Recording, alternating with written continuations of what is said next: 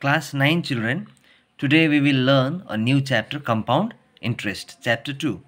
So I have some formula for the chapter compound interest. CI equal to P second bracket open, first bracket open 1 plus R by 100 to the power n minus 1.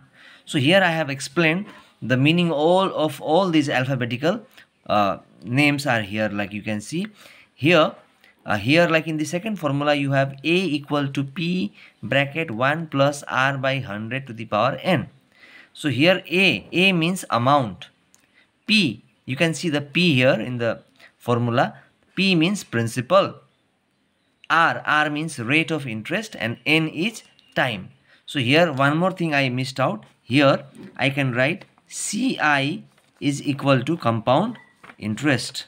So these are the names of the alphabets I have used. Now I'll explain you the meaning of this. Now amount means suppose uh, you you just invest some money in the bank. Suppose you invest uh, 1000 rupees in the bank. So that 1000 will be called as principal with the money which you invest. But after some period of time your money will increase. Suppose 200 rupees got increased. That means 1000 is principal. And the extra money which increases is called interest. And when you add when you add principal and your extra interest that is called amount. So amount is the sum of principal plus interest. So rate means rate of interest. Like for some amount of money bank will give you some rate of interest in the form of percentage 5% 10% so that is rate of interest and here n means time. So here n is time like for 2 years 3 years so that will be called your time. Now ci means compound interest. Compound interest means suppose you invest some money in the bank. That is for example one more time i'm saying 1000 rupees. And it became 1200 your money became 1200 that means 200 got increased. That is called interest for the first year.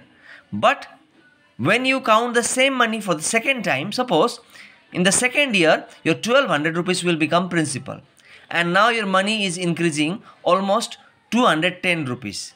So that means when you get a interest upon interest, the interest of interest is called compound interest. So here I take one question for you children.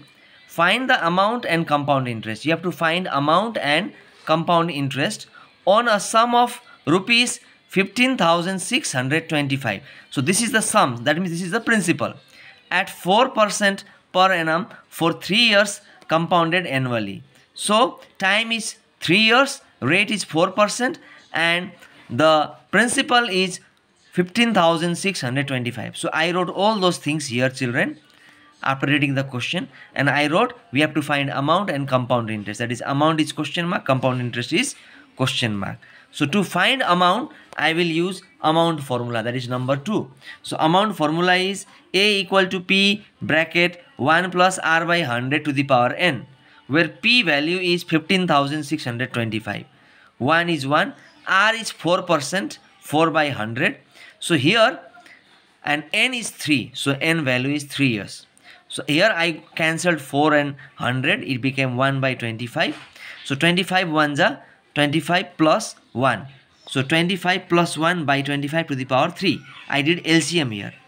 How to do LCM you know because there is nothing below 1. So 1 and 25 LCM will be 25. So this 25 ones are 25 and this 1 comes here. 25 plus 1. So now 25 plus 1 is 26 by 25 cube. 26 by 25 whole cube. So that I write here.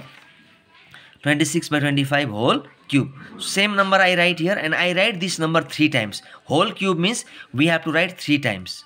So when i wrote three times here this 25 and 15625 got cancelled it became 625 this 625 and 25 got cancelled it became 25 25 ones are 25 so here only one remains. So 26 into 26 into 26 is 17576 so this is our amount.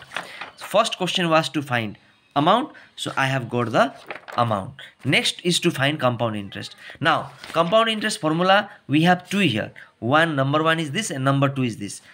Number three is this suppose. But number three will be very easy to use. Why? Because when we have the value of amount no need to use number one. So i use this formula compound interest equal to a minus p so same formula i used here. Amount just now came. This is the amount and principal is 15625 and when we subtract it is 1951 rupees. So this is our compound interest. So practice this question children. Thank you